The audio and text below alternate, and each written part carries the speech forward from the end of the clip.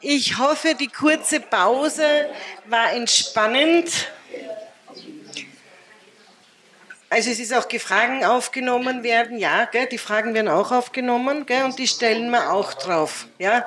Also alle, die was nicht gehört haben, können es auf YouTube noch einmal nachhören, denn über die Mikrofone wird es ja viel besser aufgenommen, wie wenn jetzt da hinten wer was sagt, was ich da vorne nicht ganz gehört habe. Eine Herzensfrau von mir, die neben mir steht, unser Weg geht seit 25 Jahren circa gemeinsam wir haben gemeinsam bei der Marie-Louise gelernt. Die Gabi Steiner leitet seit 2013, äh, mein Gott, noch, seit 2013 das Astro College Steiner und wir haben gemeinsam bei der Marie-Louise Martis auch gelernt und sie hat auch beim Peter Orban gelernt, die Aufstellung, die systemischen Aufstellungen astrologischen. Und da Gabi auch Lebens- und Sozialberater ist, darf sie auch systemische Aufstellungen machen, was ja uns Astrologen, die nicht Lebens- und Sozialberater, Psychologen oder Psychotherapeuten sind, nicht. Wir zwei wissen das, weil wir arbeiten gerade an einem Qualitätsmanagement für die Wirtschaftskammer. Genau. Das dürfen wir sagen. Wir arbeiten seit genau. zwei Jahren dran und ja. schwitzen uns ab, aber ja, nächstes Jahr wird es fertig werden. Ja. Ja, und Gabi macht hervorragende Aufstellungen, halt astrologische Fachvorträge, hat beim Astrologenverband schon oft gehalten. Du machst ganz viele Sachen, hast du dein Leben lang gemacht. Ist Mitbegründerin des österreichischen Astrologenverbandes, war zweite Vorsitzende lange sehr, sehr lange Zeit vom Astrologenverband. Ja, und eben Lebens- und Sozialberatung bist auch und Wirtschaft hat sie studiert. Also. Ganz was anderes. ja, ja, aber trotzdem. Ja. Ähm, Wenn es um andere Geschichten geht und Horoskopaufstellungen und Vorträge dafür zu halten, ist die Gabi meine Wahl Nummer eins, weil sie absolut äh, professionell ist und absolut, ja, da gibt es für mich gar nichts drüber. Sollen wir ein bisschen anders? Das mehr Understatement. Understatement, okay. nein, nein, es ist wirklich so. Ja, also Gabi ist hervorragend. Ja, Gabi, ich freue mich auf deinen Vortrag und ja. sind schon ganz gespannt auf dich. Ja. Ein Applaus für die Gabi am Anfang.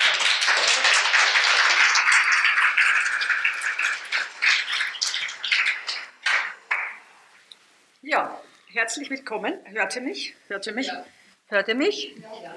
Okay, herzlich willkommen zu meinem Vortrag über die verstrickte Familie, Spurensuche im Horoskop.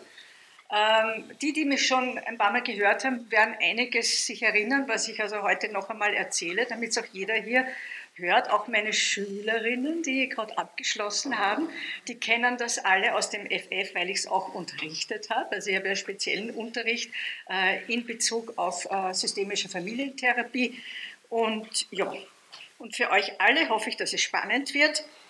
Äh, ich mache ja seit mehr als 30 Jahren Astrologie äh, und in den ersten 15 Jahren hat mich die Astrologie ja in den Bann gezogen, weil sie so ein hervorragendes Erkenntnis- und Diagnoseinstrument ist. Ja, wo wir auf einen Blick im Horoskop sehen können, was mit dem Menschen los ist.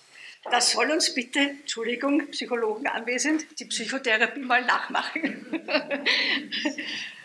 Ja, aber dann hat sich allmählich eingeschlichen bei mir im Zuge der täglichen Beratungspraxis ähm, ein bisschen so eine Unzufriedenheit.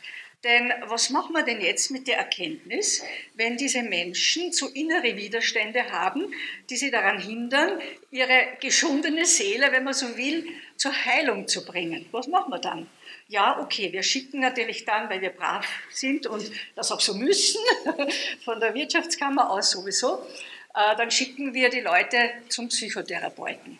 Bei mir war es halt dann leider oft so, dass die nicht mehr woanders hingehen wollten, weil die einfach schon Vertrauen gefasst haben aus dem, was man da aus dem Horoskop herausgelesen hat.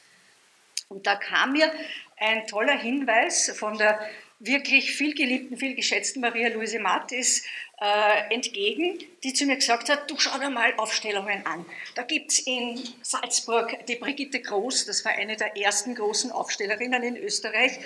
Bin ich sofort hin und letztlich dann eben bei Peter Orban auch gelandet. Ja, und dann habe ich vom ersten Tag an gewusst, das ist der Stein, der mir gefehlt hat in meiner täglichen Beratungsarbeit. So habe ich eben äh, beim Peter Orban drei Jahre Ausbildung gemacht, auch bei anderen Aufstellern, äh, verbinde jetzt in meiner Praxis beides, Astrologie und Aufstellungen. Äh, und da hat sich mir eben offenbart, dass in jedem Horoskop ein Stück Familiengeschichte zu finden ist. Und wir machen das dann meistens so, es kommt jemand äh, mit einem Horoskop zu mir, wir schauen uns das an, äh, Diagnose, ja, äh, und dann geht es an die Knochenarbeit. Ja, und dann stellen wir auch andere Form von Coaching. Oder ich schicke auch weiter, auch das kann sein. Ja, warum funktioniert das jetzt so gut, diese Lösung äh, von Verstrickungen über die Aufstellungsarbeit? Ähm, wir kennen ja den großen Psychologen C.G. Jung, der ja sozusagen mit Archetypen gearbeitet hat und gesagt hat, also unser menschliches sich an Archetypen. Da gibt es zum Beispiel, jetzt muss ich schauen, ob das funktioniert. Ja, jetzt kappe ich es wieder.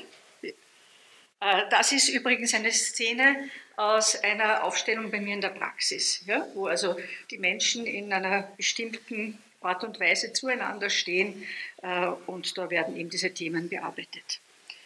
Ja, und äh, es gibt natürlich dann diese Archetypen, wie zum Beispiel den Archetypus Technik des Vaters. Äh, der Vater, der steht für Stärke, äh, für Schaffenskraft, für Mut, traditionell, natürlich wir Frauen können das mittlerweile auch, aber es ist eben dieses Archetypische. Und wir wissen eben diese äh, Archetypen, diese allgemeinen, übersetzt in die zwölf Zeichen, Haus und äh, äh, eben die Planeten. Äh, und wir haben auch schon gehört, dass man in einem weiteren Schritt sozusagen den Archetypen unterschiedliche Planeten zuordnen kann. Da gibt es also alle möglichen Listen dafür, was man dann nehmen kann. Am bekanntesten ist vielleicht äh, für den Vater die Sonne, äh, für die Mutter Mond, kann aber auch das Kind sein. Also da gibt es mehrere Möglichkeiten.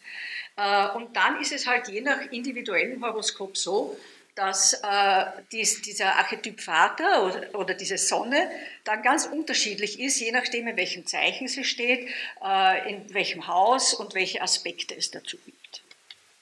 Äh, jetzt ist es aber so, dass äh, es nicht immer so ist, eben, dass das so einfach zugeordnet werden kann, sondern äh, welcher Planet jetzt äh, eine, eine, ein, ein, einen, eine Rolle übernimmt, hängt oft von der Vergangenheit des Familiensystems ab. Es ist dann also so,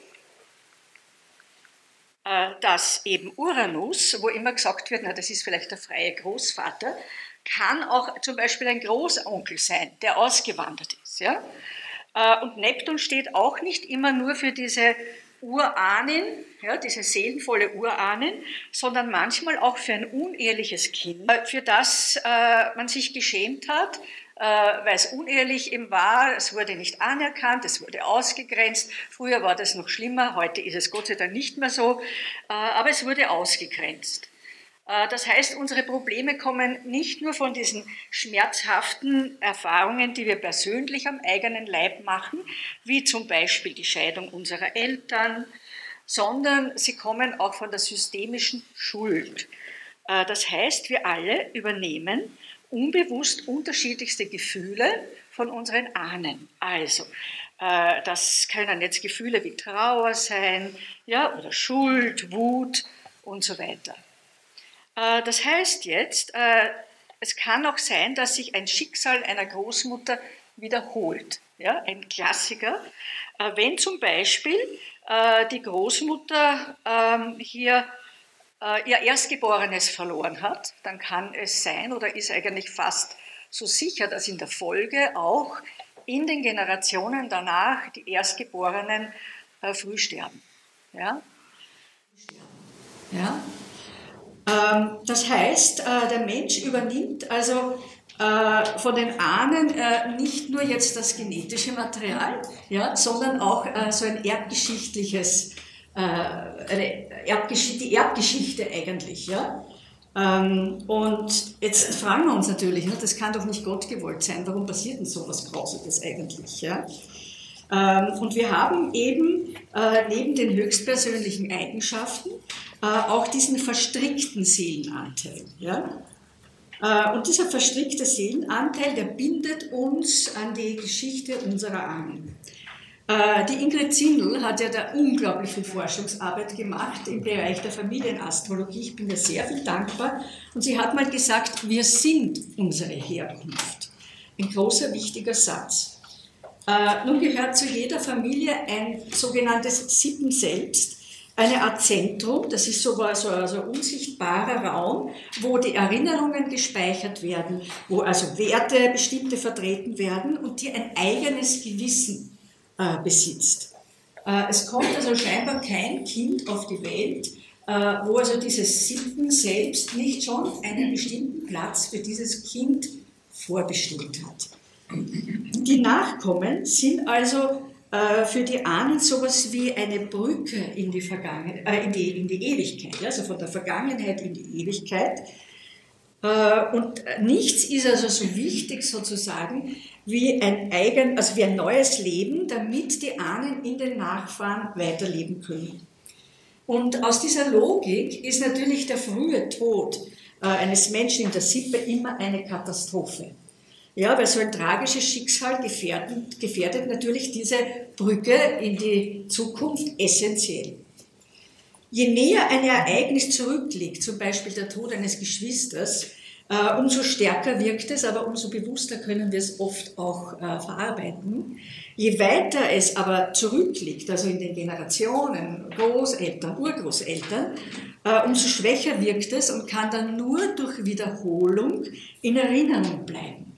Denn das Sittengewissen möchte Ungerechtigkeiten und schwere Schicksale im Sittengedächtnis behalten und ausgleichen.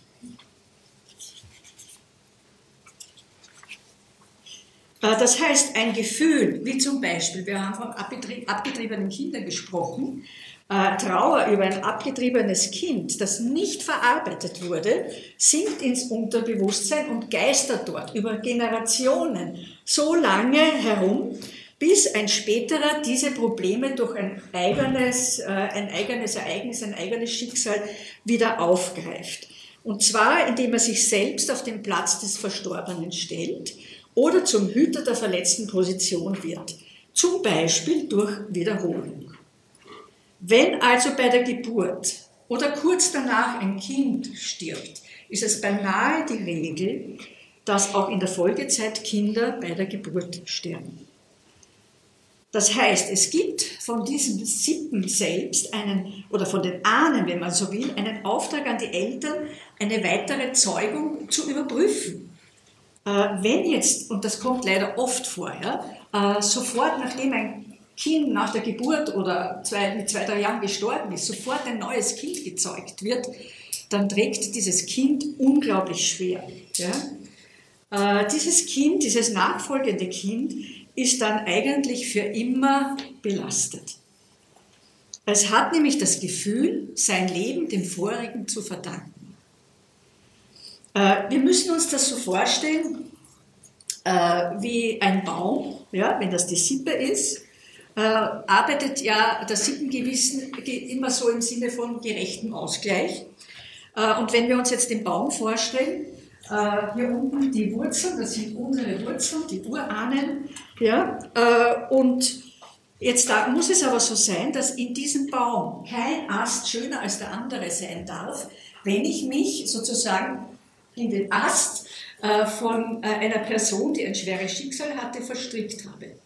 Ja, weil, äh, wie geht denn das? Wieso darf es mir besser gehen als dieser Person? Und wir sind ja da genau äh, bei dieser Person dann verstrickt. Wenn also jemand früh gestorben ist, dann ist das natürlich sehr wenig an Lebensglück. Äh, und dann greift ihm ein späterer diesen Ausgleichsdruck auf äh, und gönnt sich ihm auch sehr wenig. Ja? Das kann jetzt natürlich sein, dass er selber früh geht auch dieses Ich folge dir nach-Syndrom kennen die, die mit Aufstellungen schon zu tun gehabt haben. Äh, oder der sich vielleicht in der Partnerschaft die Erfüllung versagt oder der vielleicht eine Krankheit hat. Das ist natürlich ein Ausgleich, der ein schlimmer ist. Ja? Und äh, man fragt sich, warum sowas passiert. Es vermischen sich ja äh, dann oft auch so treue äh, Aktionen ja, äh, von beiden Systemen bei ein und derselben Person. Es ist ja diese magische Vorstellung eben, man könnte etwas Schweres wieder gut machen durch sich selbst opfern. Aus Liebe und aus Treue, aus Loyalität zum Familiensystem. Und das wird halt unbewusst übernommen. Ähm, ja, warum passiert sowas? Ja? Äh, jedes Mitglied hat ein gleiches Recht auf Zugehörigkeit, besonders die Ausgegrenzten. So wie dieses kleine Entlein da. Sind das Enten?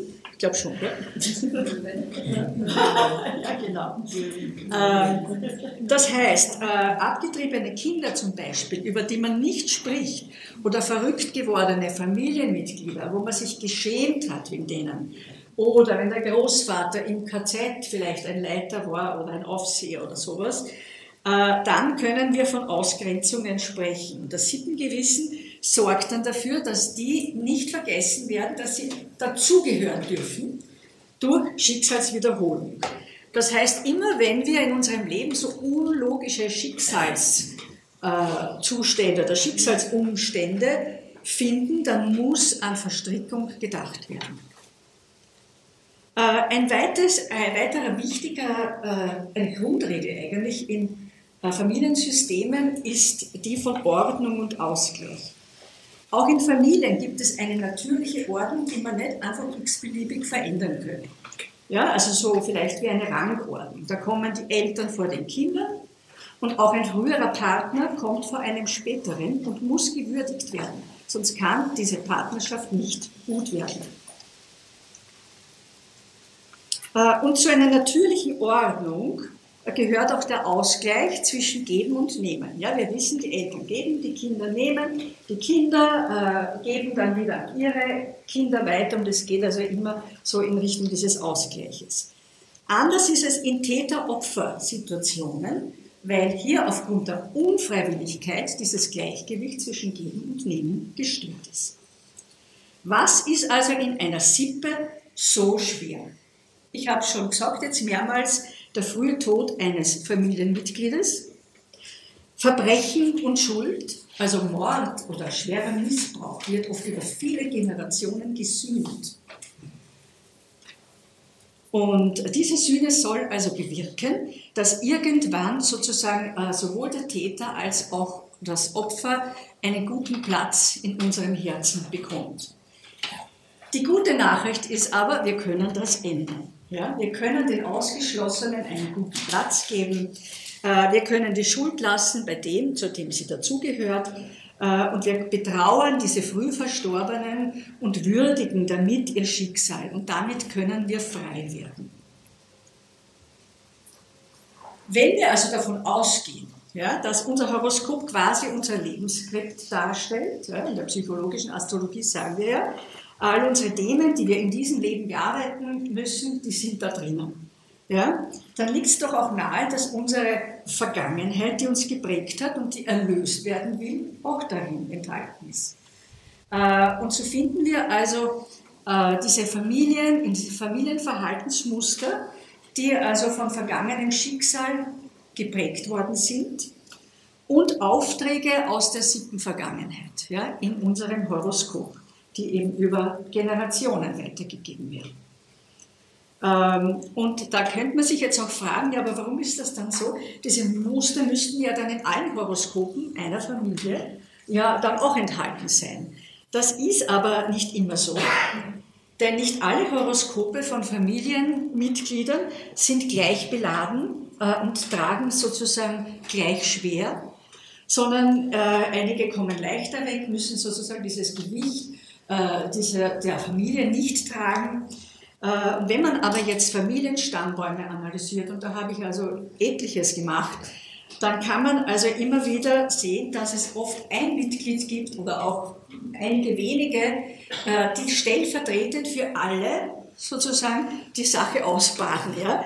oder die stellvertretend sozusagen hier äh, eine Lösung finden. Äh, das sind so Sündenbock ja, und so weiter.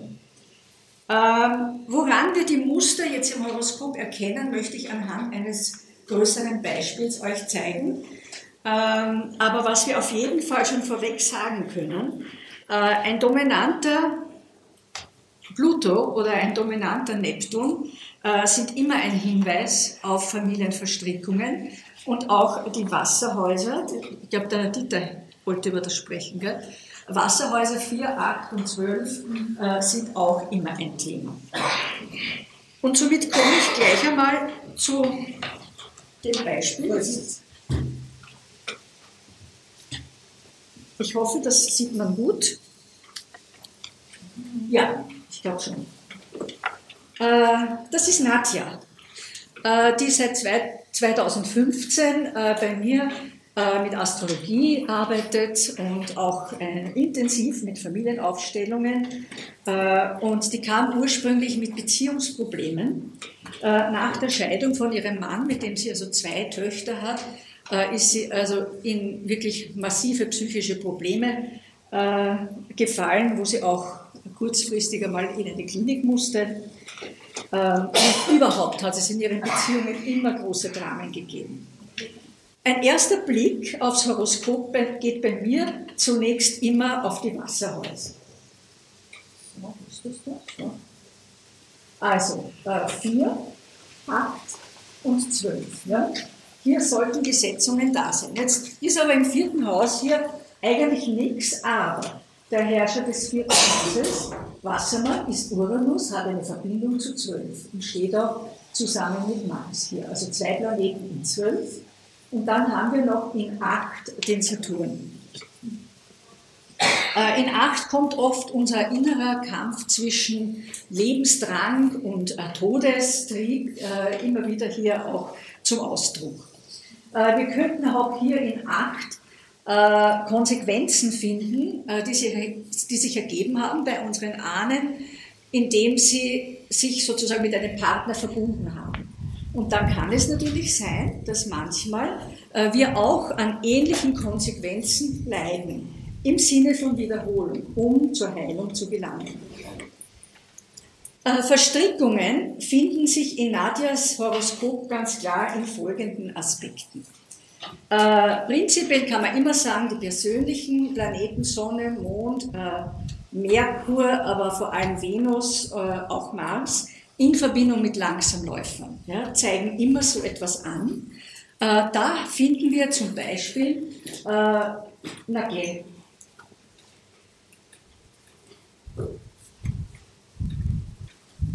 Da finden wir zum Beispiel hier, also Sonne, Saturn einmal, ja, eineinhalb Quadrat äh, im achten Haus. Äh, zu den Erklärungen komme ich dann später. Äh, wir finden auch Mond, Neptun, Mond, Neptun in einem Quadrat. Wir finden Merkur mit Neptun hier beisammenstehen. Äh, und wir finden Venus, Pluto hier in Konjunktion in der Waage. Ja? Die kommt mit Beziehungsproblemen. Ja? Äh, noch dazu ist ja die Venus bitte, Herr 8 und Herr 12. Also plutonisch und neptunisch. Äh, und Pluto selbst hat auch noch ein Sextil zu Neptun. Ähm, wie schon gesagt, äh, Pluto, Neptun und andere Neptun-Verbindungen sind immer Bindungen ans Jenseits. Äh, und Familiengeheimnisse sind auch immer zum Beispiel in Mond Neptun oder Herr 1 im Aspekt zu Neptun. Herr 1 ist ja bei ihr der Pluto, also haben wir hier schon wieder eine Verbindung. Äh, Pluto-Neptun, auch wenn es ein Sextil ist. Ja? Es sind einfach ja, Schicksalsplaneten, wenn man so will. immer interessant ist auch, welche Zeichendominanzen gibt es. Äh, und da finden wir natürlich in der Waage hier vier Planeten, nämlich Venus, Pluto, Mars und Uranus. Und da ist das meiste auch noch, oder zwei davon im zwölften Haus. Äh, das heißt eine klare Sache, ja? hier geht es immer um Beziehungen. Äh, das Skorpion ist hier doppelt mit Aszendent und Sonne, aber es gibt auch Lilith in Skorpion.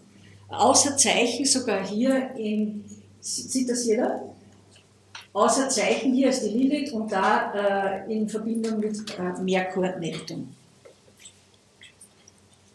Äh, sie kam zu mir schon beim ersten Termin mit drei Kernaussagen. Ja? Sie hat einmal gesagt, ich hatte nie Familie. Es gibt in der Familie lauter Einzelkinder.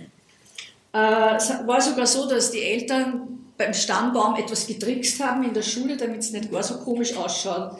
Äh, und es ist halt so, dass bei Einzelkindern es immer schwierig ist, weil die oft aus beiden Systemen etwas tragen. Ja? Bei Geschwistern kann es sich manchmal ein bisschen aufteilen. Ähm, daher hat sich für mich natürlich die Frage gestellt, wo im System sind denn diese Kinder verloren gegangen? Äh, jedenfalls hat sich Nadja also immer einsam gefühlt. Äh, in Aufstellungen haben wir gesehen dann, dass die Mutter energetisch so sehr an etwas Schweres gebunden war, dass die Tochter, die ja eigentlich ihr einziges Kind war, nicht wirklich wahrnehmen konnte, also sie konnte ihre Tochter nicht wahrnehmen. Äh, und Planeten in zwölf fühlen sich auch oft einsam. Ja? Äh, wobei menschliche Beziehungen hier als Gegenmittel meistens dann gar nicht ausreichen. Ja, oft sind äh, diese Menschen äh, zu einem Zeitpunkt äh, in die Welt gekommen, und, äh, wo der Familie eigentlich eine Seele vorhanden gekommen ist. Ja? Und die muss also jetzt äh, die Seelenarbeit für alle machen. Äh, dann gibt es eine zweite Kernaussage, meine Beziehungen sind immer schmerzvoll. Na, das sehen wir doch alle sofort an dieser Geschichte. Ach Gott.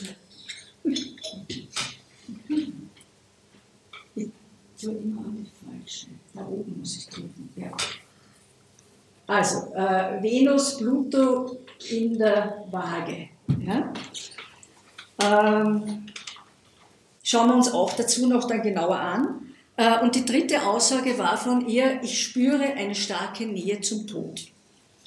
Ähm, Nadja ist ja stark plutonisch und wir wissen, Pluto verlockt sozusagen die Seele des Menschen, sich des Schicksals eines anderen anzunehmen und manchmal sogar über ein Seelenopfer oder ein Selbstopfer sozusagen zu heilen.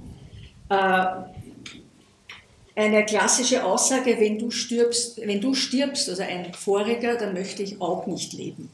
Das äh, ist laut Zindel, und da hat sie vollkommen recht, eine Anmaßung an die höhere Ordnung des Saturn er ist der, der die Schicksalsfäden sozusagen hier oder seine, seine Göttinnen, ja, der das abschneidet ja, oder der das bestimmt. Äh, jetzt ist es so, dass reine äh, Neptunstellungen wie hier mit Mond, Neptun und Merkur, Neptun äh, es oft schwierig machen, sich in diesem Leben gut zu verankern. Bei Neptun in, mit Pluto in Verbindung stehen die oft so weit drüben auf der anderen Seite, äh, dass sie mit aller Intensität sozusagen versuchen, ihr Leben den Toten quasi zu opfern. Mehr noch gilt das äh, beim Aszendenten, das sind gebundene Energien hier. Äh, und die sind sogar bereit, ihr Leben eben zu opfern, damit ein anderer, früherer wieder lebendig werden kann, was ja gar nicht möglich ist. Ja? Sonne in Skorpion ist schon mal so eine Geschichte, wo sich also Nadja der Vergangenheit des Vaters annehmen wird müssen und bei Sonne eineinhalb Quadrat, so, Sonne eineinhalb Quadrat Saturn, äh, ist oft ein schicksalhafter männlicher Tod in der Familie. Man muss dazu sagen, äh, weil sie sagt, eine Nähe zum Tod, äh, Nadja wäre selbst fast bei der Geburt gestorben und ein zweites Mal äh, ja, bei einem Bergunfall. Ähm, und da haben wir also auch eine Geschichte aus, aus ihrer Vergangenheit gefunden.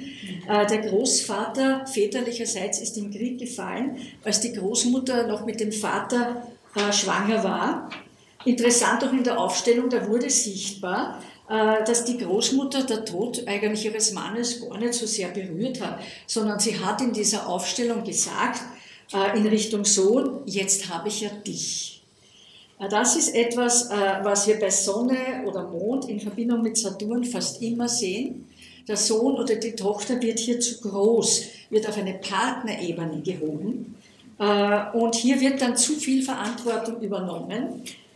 Ich habe schon von Ordnung gesprochen und hier ist eine Umkehr der Ordnung dann passiert, die sehr viel Kraft kostet.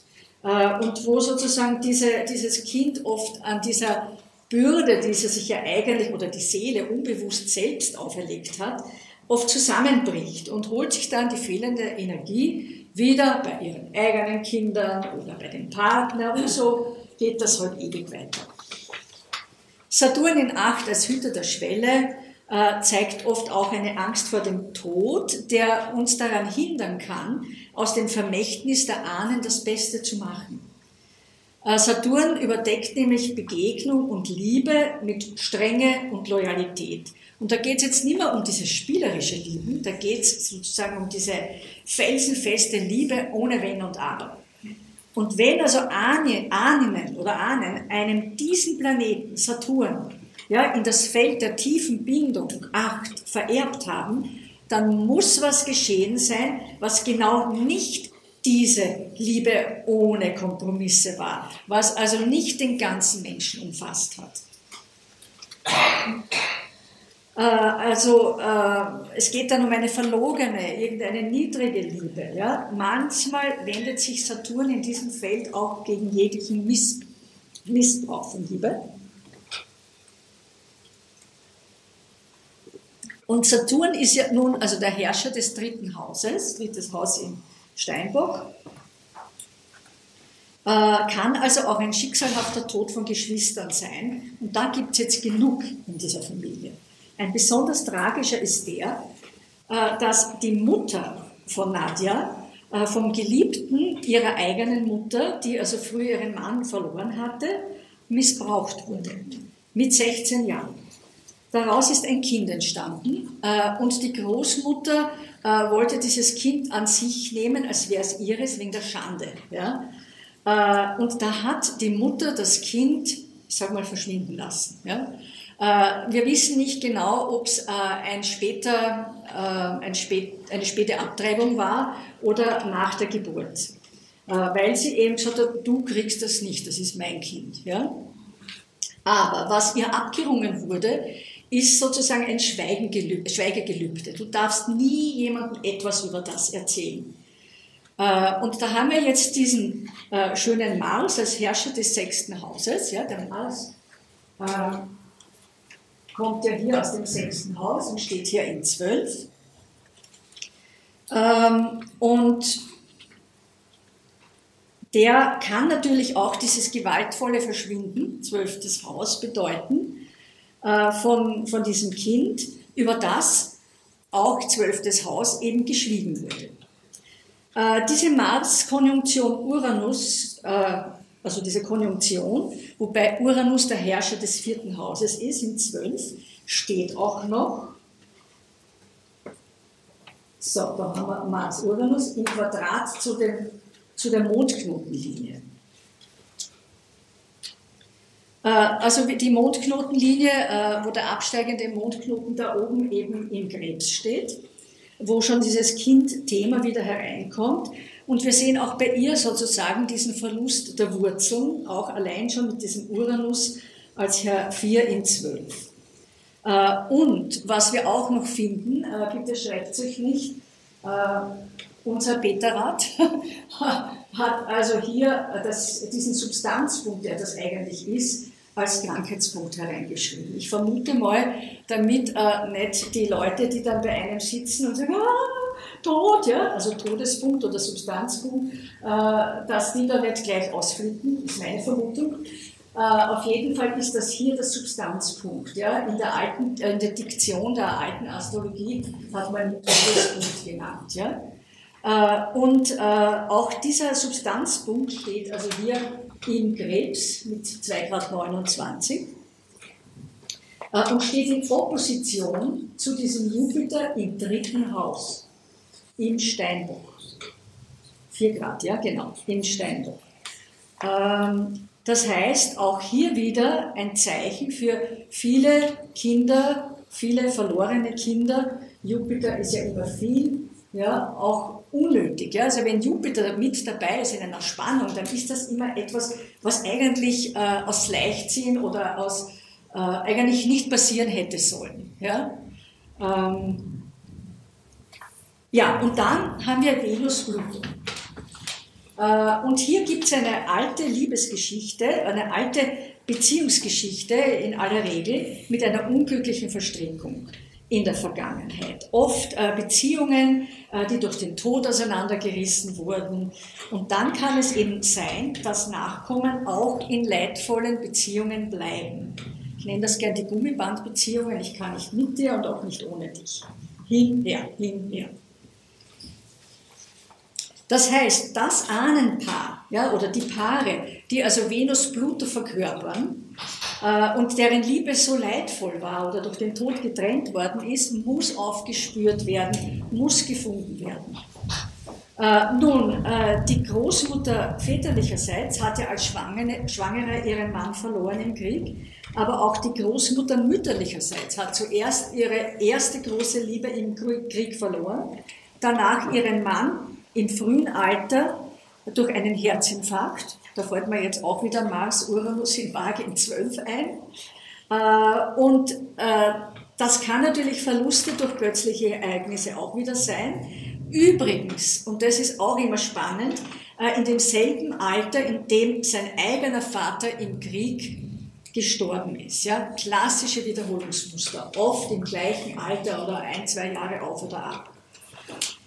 Ähm, nun kommen wir zu diesen verlorenen Kindern. Ach, das wird mir heute noch ein Mal passieren. so. Äh, ich habe es da schon vorher erwähnt, äh, Merkur-Neptun. Äh, Merkur-Neptun steht ja im Quadrat zum Mond. Äh, hier auch noch die Spannung zu, äh, zu Chiron ja, und hier auch noch eineinhalb Quadrat herüber. Ja. Also äh, wir nennen das auch ein hartes Quadrat. Also das ist so ein, eines von diesen Figuren ja, äh, in der klassischen Astrologie. Gewaltfigur oder wie auch immer. Ähm, und das kann natürlich bei Merkur Neptun auch der Verlust von kleinen Kindern sein. Ja? Also äh, Merkur ist oft so bis zum vierten Lebensjahr. Danach kann oft dann Venus oder Mars sozusagen diese Rolle äh, übernehmen, von der ich am Anfang gesprochen habe. Äh, und jetzt müssen wir wissen, der vierte große Problempunkt äh, meiner Kundin von Nadja war ein besonders drängender Wunsch nach einem dritten Kind. Äh, jetzt muss man wissen, der Auftrag ja, an, der Ahnen an skorpionische Menschen, wie ja Nadja ist, ist immer führe du wieder das, unsere Blutlinie weiter. Und tatsächlich taucht hier in einer Aufstellung eine Urahnin auf mit dem Auftrag, das eigene Blut durch viele eigene Kinder weiterzutragen. Jetzt wünscht sich also unsere Nadja äh, von ihrem Partner ein drittes Kind, äh, der schon zwei Kinder hat aus erster Ehe und vor lauter Schock sich gleich unterbinden lässt, äh, was aber ein schwerer Schlag natürlich für sie war. Äh, ich habe mich natürlich gefragt, warum wünscht sich ein Kind jenseits der 40 mit zwei pubertierenden Töchtern unbedingt noch ein drittes Kind? Äh, und da ist auch interessant,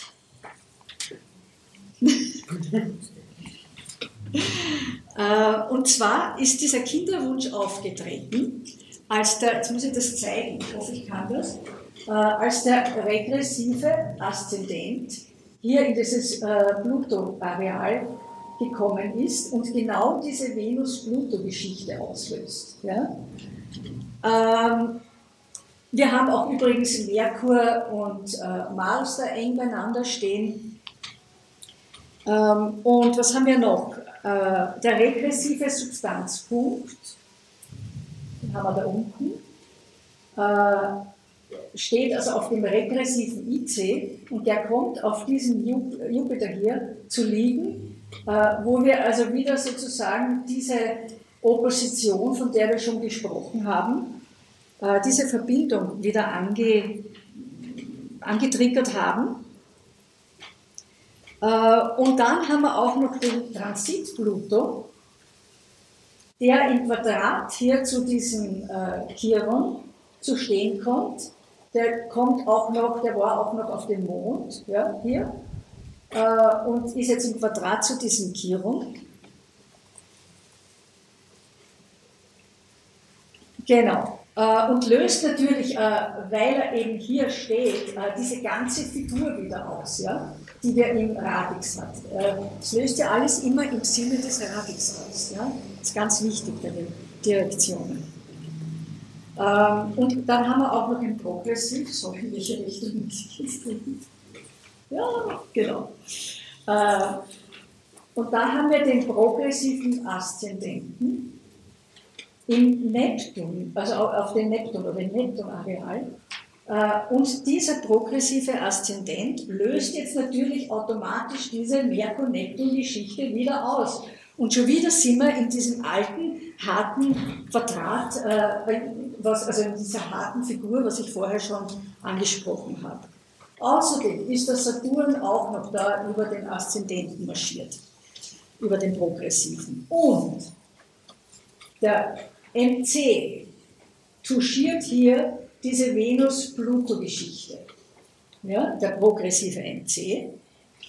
Äh, und er steht wieder im Zeichenwechsel. Ja? Also wir wissen, NC-IC-Achsen Zeichenwechsel, äh, das sind immer ganz entscheidende Veränderungen. Ja? Äh, sowohl im familiären als auch, kann auch im beruflichen natürlich sein, aber da tut sich immer unglaublich viel. Das ist so, so ein Wandel vielleicht. Ja? Dann sollten wir auch noch eines betrachten, nämlich äh, die Venus. Ihre Venus steht ja auch noch hier auf einem kritischen Grad. Ja? Das dürfen wir nicht vergessen. Ja? So, dann wieder zurückgehen. Ja, gehen wir zurück äh, zum Horoskop von Nadja. Drei Kinder, ja, eine magische Zahl in ihrem Familiensystem. Die eigene Mutter hat eine Fehlgeburt Geburt vor und eine nach der Nadja gehabt. Und die Nadja selbst hat ihr drittes Kind verloren in der 19. Woche, ein Bub.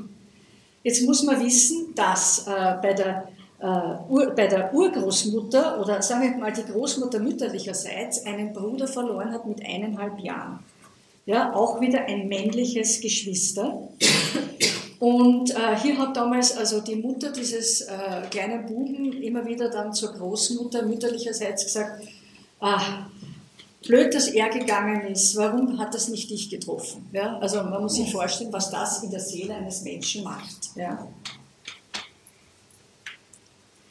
ja das sind die drei, äh, die, die magische drei sozusagen.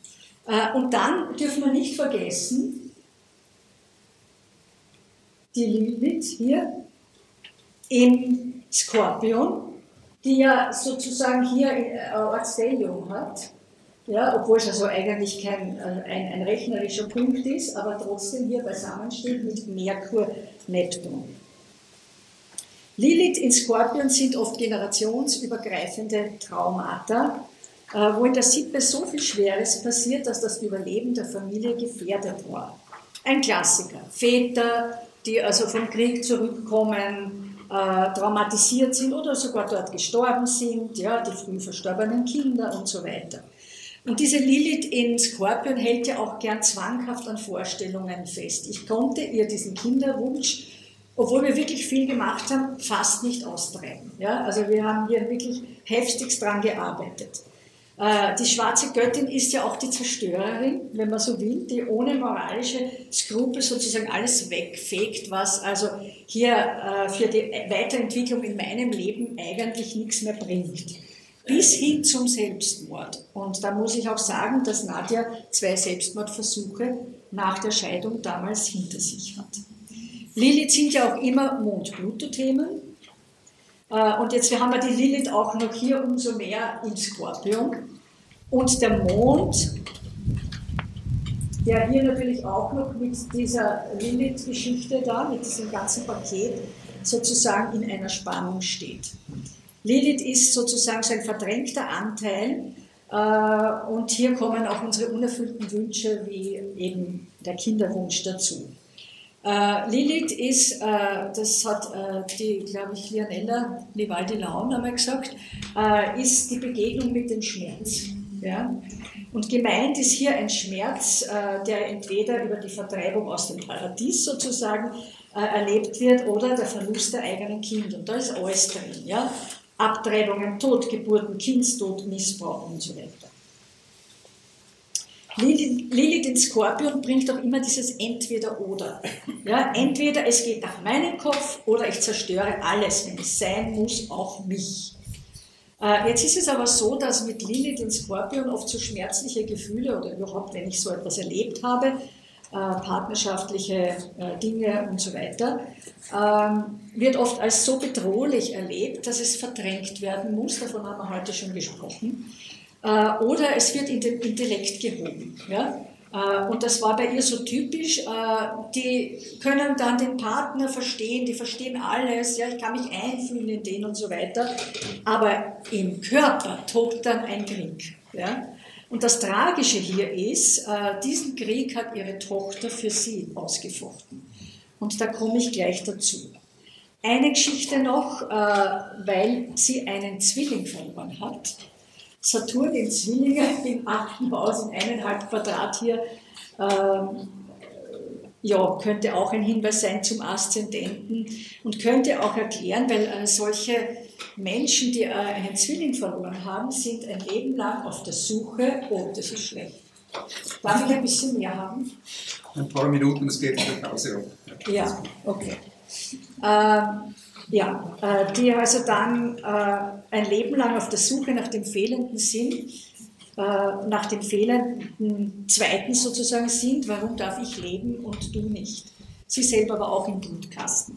So, und jetzt muss ich einfach die Alina hier noch herholen. Das hilft nichts, die brauchen Herz. Selber Begeisterung. Und schon wieder bin ich da. so, holen wir die Alina. Das ist die Tochter. Wir schauen also äh, wieder einmal auf die äh, Häuser 4, 8 und 12 und ich muss dazu sagen, die Alina äh, ist zu mir gekommen, weil sie ständig körperliche Symptome hat, wenn es der Mutter nicht gut geht. Ja? Also offenbar zeigt sie was körperlich an, weil es also Nadja nicht sehen kann oder will. Und wir haben also hier wieder, oh Wunder, Merkur, in Opposition zu Neptun. Und das ist so etwas, was sich eben auch über die Familien immer wieder wiederholt. Also äh, die äh, Aspekte zwischen gleichen Planeten, die dieses Thema wieder aufgreifen. Äh, wir haben, was haben wir noch? Ähm, ähm, ja, Quadrat zu Jupiter in 12. Und dann ist, steht der Saturn hier direkt am Aszendenten. Also äh, die fühlt sich verantwortlich sowohl für die mütterliche Schwere, weil der Saturn ja auch hier zum Mond eine, eine Spannung macht. Ja, und sie agiert das bitte körperlich aus. Ja? Die Beziehungsgeschichten der Mutter ja, äh, fühlt sich hier verantwortlich, aber es gibt auch eine Spannung äh, zur Sonne, also auch Vaterthema haben wir hier. Äh, und es gibt auch äh, für, also sowohl zur Sonne als auch zum Mond äh, diese Spannung mit Mars. Wir haben ja da so ein Spannungsstachel. Ja? Und dieses Spannungsstachel ist hier jetzt eingebunden, ich würde fast sagen, in ein großes Quadrat. Ja? Also wir haben hier Saturn, Uranus, Mars und dann hier diese Sonne mit Knotengeschichte. Ja? Ähm, und äh, Mars, äh, Pluto oder Mars im Skorpion sind oft auch äh, Hinweise auf schuldhaften Tod oder Kriegsgeschichten. Und wie viel Substanz eigentlich diesem Kind dieser versuchte Ausgleich kostet, sehen wir woran. Ja? Also wir sehen wieder, dass hier der Substanzpunkt mitspielt. Und äh, der ist ja auch noch einmal hier bei ihr in Konjunktion mit Mars in Skorpion. Mehr brauche ich eh nicht dazu sagen. Äh, und das löst halt bei, bei, ihr eben immer diese Symptome aus. Ja? Äh, Mondsextil Pluto sind auch noch äh, oft eine zu starke Le äh, Leidensgemeinschaft mit der Mutter. Und da Lilith jetzt hier bei ihr, wo ist sie? äh, da oben, ja, Bogen, was Bogen genau mit Pluto beisammen steht, äh, können wir uns hier auch wieder vorstellen. Das ist ja wieder was ähnliches wie bei der Mutter Lilith in Skorpion. Ja? Auch hier wieder eine Wiederholung. Und bitte, ja, auch noch die Venus ist auch wieder auf 0 Grad. Wenn wir also Planeten in Familienlinien auf den gleichen Graden besetzt haben, äh, dann ist das auch oft äh, ein Hinweis, dass sich hier etwas weiter fortsetzt. Äh, ich habe mit Alina sechsmal aufgestellt und jedes Mal haben wir das Symptom beseitigt und dann, es hat immer mit der Mutter zu tun gehabt und dann kam es, irgendwann kam ein neues Symptom. Ja, und ich erinnere mich auch an eine erste Aufstellung von ihr, wo es eine Häufung von Todesfällen gegeben hat in ihrem Umfeld und ein Symptom dazu. Äh, und da hat sich gezeigt, dass äh, auch bei der Vaterseite, bei der Ur-Urgroßmutter im Krieg zwölf Geschwister, das waren alles Männer, alles Brüder verstorben sind und diese Ur-Urgroßmutter war die einzig Überlebende. Mond, Herr 3, Halbquadrat Mars, der ein Mitherrscher des zwölften Hauses ist, äh, in Konjunktion, er? Mars, genau, den, äh, den, den Substanzpunkt haben wir auch schon wieder mit dabei. Ähm, und dann muss man noch sagen, äh, in einer weiteren Aufstellung ist auch eine Engelmacherin aufgetreten und ein Erzeuger, der einfach dieses Kind aus Langeweile gezeugt hat und der diese Abtreibung gefordert hat. Äh, und wir finden auch hier in dieser Aufstellung dann die Trauer um die erste Fehlgeburt vor Nadja, die ein Junge war. Ja? Und danach wollte die Mutter von Nadja eigentlich kein Kind mehr. Sie war also ein nicht gewolltes Kind, musste aber immer Bubenkleidung tragen. Jetzt wissen wir auch warum. Ja? So, ich glaube, jetzt muss ich aufhören. Schade, ich hätte noch eine Synastrie. Äh, aber was wir hier sehen, also wenn, äh, man sieht es in der Synastrie nämlich ganz besonders, ja? Ähm, äh, die kommt aus dieser Nummer gar nicht raus. Ja? Dieses, dieses Kind Alinas Neptun steht auch in der Synastrie. Ich mache das jetzt trotzdem. so mache ich es in Deutschland immer. Also wieder bitte in der falschen Richtung, das kostet auch Zeit natürlich. Ja, die Synastrie. Ja. Ähm, und äh, hier sehen wir auch, dass, dass dieser äh, Aszendent, äh, diese von der Alina äh, auch dieses eineinhalb Quadrat äh, von der Mutter hier, Venus Pluto touchiert. Mhm. Ähm, das heißt, die ist emotional in das Beziehungsdrama der Ahnen eingebunden. Äh, und sie erlebt mit Mond Saturn, was da dort, ja genau, sie erlebt die Mutter als eine sehr belastete, fühlt sich verantwortlich und dieser Mond ist sowieso durch Pluto und diese Leidensgeschichten hier massiv verletzt. Äh, die rückläufige Venus berührt wiederum den Mond, ja, äh, sozusagen äh, von der Mutter und löst wieder diese ganze Geschichte da aus, die wir schon besprochen haben. Und dann haben wir auch noch eine doppelte Geschichte mit den Mondknotenachse. Ja? Ja, und schaut euch das an, ja, die Mondknoten von Alina, also von, von der Nadja, sind mit NCIC-Achse hier verbunden. Und da haben wir Mondknoten Uranus, verlorene Wurzeln, auch noch mit äh, NCIC von der Mutter. Also ich frage mich dann schon, äh, wie, wie die aus der Geschichte rauskommen soll. Dann hat sie auch äh, Neptun ja, im Quadrat zu Aszendent, Deszendent. Äh, und hier sieht man schon, äh, dass sie sich gar nicht abgrenzen kann ja, gegen die äh, Geschichte der Mutter oder die Beziehungsgeschichten. Sie spürt immer ganz genau, wenn es der Mutter nicht gut geht, auch wenn sie es gar nicht wissen muss. Das Beste, was ihr äh, passieren konnte, ist, dass sie in die Heilung geht mit ihrem Chiron und die arbeitet in einer Psychiatrie. Ja? Äh, leider hat sie vor eineinhalb Jahren äh, Multiple Sklerose bekommen. Also darum sage ich, die kommt aus der Nummer ganz schwer raus. Also das ist ein ganz starkes äh, sich opfern. Äh, aber sie ist absolut ein mutiges Mädel und ich glaube, wir haben auch diese Krankheit aufgestellt und da haben wir also auch einiges gefunden. Aber damit mache ich jetzt Schluss. Äh, es ist ein bisschen ein schweres Thema, ich weiß das. Ja? Aber was das Schöne ist, wir können da auch wieder herauskommen. Ja, wir können herauskommen, wir können uns das anschauen, wir können uns das bewusst machen, damit der rote Faden für unsere Nachkommen durchschnitten wird, ja, dass das nicht ewig weitergetragen ist. Und das ist mein ganz persönlicher Auftrag. Und jetzt bedanke ich mich für eure Aufmerksamkeit.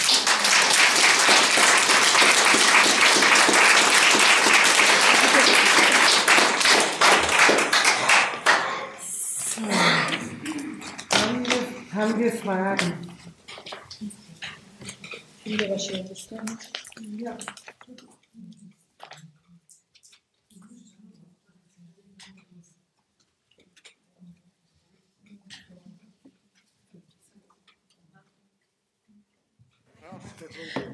Ja, ich habe eine Frage und zwar, äh, welche Bedeutung hat ein erstgeborenes behindertes Kind in so einem System? Geistig und körperlich behindert. Ja, also äh, Behinderungen, obwohl, also egal ob es jetzt äh, geistig oder körperlich ist, äh, hat oft mit schuldhaftem Tod in der Vergangenheit zu tun. Ja? Also ich habe zum Beispiel äh, eine Kundin, äh, wo der, der Bruder ist geistig behindert, der ist ein schwerer Autist und da war der Großvater eben in einem KZ. Ja? und hat hier also massenweise Leute umbringen lassen. Ja. Also da geht es wirklich um Mord und Totschlag in der Vergangenheit. Ja. Dankeschön. es wird immer düsterer. Einen Mars im achten Haus und eine Lilith in fünf. Und ich habe keine Abtreibungen, ich habe keine Fehlgeburten, was man mit Lilith in fünf annehmen kann. Aber Mars in acht macht ein Quadrat auf Lilith in fünf. Das war nicht ich, sondern meine Mutter hat vor mir, hätte sie einen Buben bekommen. Das sind alte Geschichten. Die, die wir gefragt, tragen und wir fragen uns warum. Bei uns ist doch alles in Ordnung. Ich habe das alles nicht. Dann müssen wir eben vermuten, dass es echt eine Verstrickung ist, die Generationen zurückgeht. Und ich weiß noch, wie du den ersten Vortrag beim Verband gehalten hast und sprichst über Maß in Acht und ich sitze und krieg Nasenbluten. Ich habe noch nie in meinem Leben vorher und danach Nasenbluten gehabt. Und gehe aufs Klo und denk mir, wieso habe ich Nasenbluten? Ich habe das Thema doch gar nicht. Ich habe schon unterrichtet, ich habe das Thema ja gar nicht. Ne? Und stehe da und das Rind, bis ich draufkomme, bin ja hoppla. Das ist es. Mars in 8. Ja, Mars in 8 sind Mars-Pluto-Themen. Ja? Also das sind ganz viel oft Kriegsgeschichten ja? oder eben schuldhafter Tod. Ja, ich nenne es jetzt so, Mord ist so schief. Ähm, ja, ich finde das spannend mit diesem Sippengedächtnis, nur ich habe jetzt also mindestens zwei Sippen. Also ich habe ja die Sippe vom Vater, die Sippe vom Mutter und das teilt sich ja dann auch immer wieder wieder, das verästelt sich ja tausendmal. Also wie kann da eine Sippe überhaupt eine Sippe sein? Also eine Sippe ist ja nur aus meiner Sicht, glaube ich, eine Sippe, oder? Also die äh, zur Sippe gehören alle Blutsverwandten. Ja? Also äh, Vaterseite Mutterseite, also die Eingeheirateten natürlich nicht. Ja, außer sie haben wieder Kinder gezeugt und du bist ein Kind dieses Kindes. Ja? Ähm, aber ist das, was meinst du genau? Ja, ja, ja, weil ich, ich glaube, äh, ne, wir eine Sippe haben, aber ich glaube, eine Sippe, also wenn ich jetzt, oder sag mal, ich habe jetzt eine, oder das, sag mal, vom Vater her habe ich eine miese Sippe, sage ich mal, und wenn er dann eine gute Sippe, wäre ich als Kind dann also was ich meine ist, es mischt sich da immer wieder, also wo, ja. Ja, es mischt sich. Das Problem ist nur das, dass meistens die grausigen Sachen irgendwie dann äh, eben als ein späteres Schicksal, als Wiederholung weitergegeben werden, weil es ja darum geht, das Alte zu würdigen, was da passiert ist. Ja? Und es, ich habe eh schon gesagt, es ist nicht immer also du wirst nicht alles tragen, ja, weil da wird man ja verrückt. Ja. Manche tragen viel. Also ich habe so eine Blutspitze 12, ich trage, glaube ich, alles von allen irgendwie. Ja, ich kann es aber tragen. Ja. Also kriegen meistens auch Leute, die, äh, äh, es irgendwie auch schaffen, die das reflektieren können, ja, die das auch begreifen, worum es da geht. Ja. Das ist das Interessante. Ja.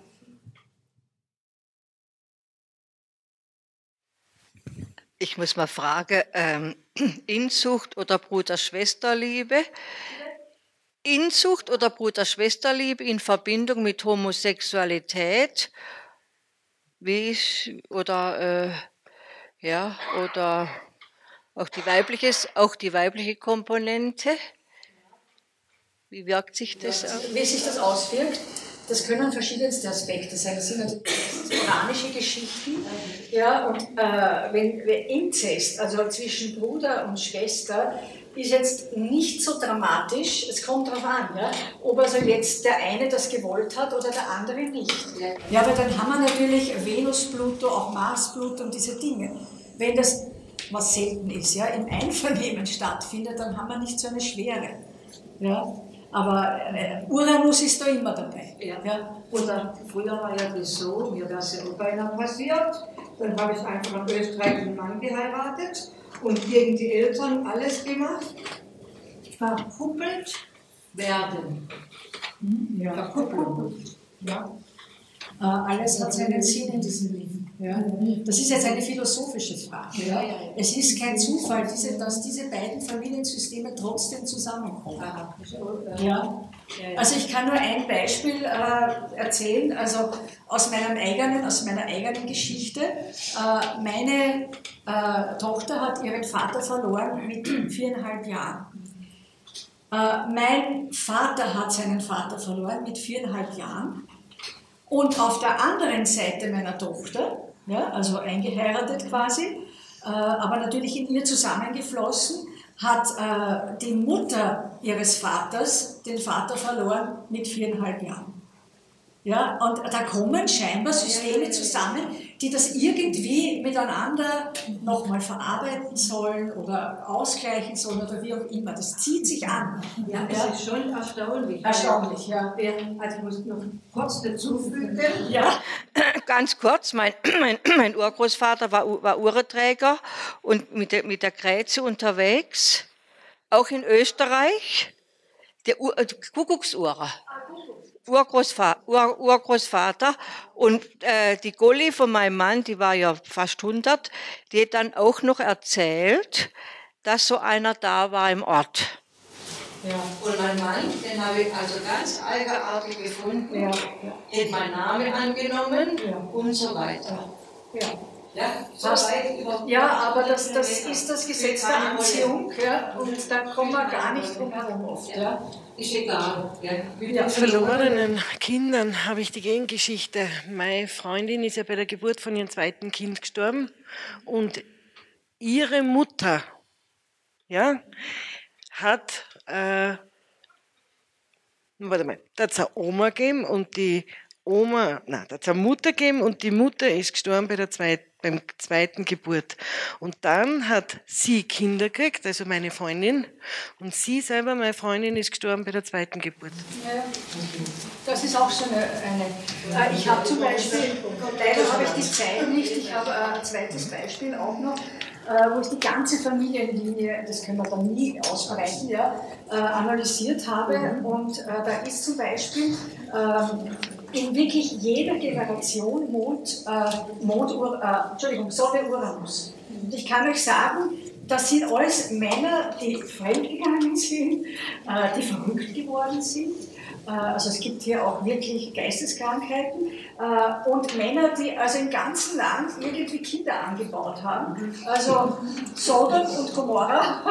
Äh, aber dieses, Blut, dieses Uranus, Sonne-Uranus-Thema, Großväter, Großenkel, alle, alle bis in die Urgroß, Ur-Urgroßelternlinie haben alle dieses Sonne-Uranus-Thema in den Horoskopen. Es ist unfassbar. Ja. Wir freuen uns unsere Begeisterung ja, für Aufstellungen. Ich weiß, ich kenne dich und ich danke dir ganz besonders nochmal, weil ich weiß, dass das nicht immer so ganz leicht ist mit dem Atmen und du hast das so hervorragend hingekriegt ja. und du warst so begeistert und vielen tausend Dank für den tollen Vortrag.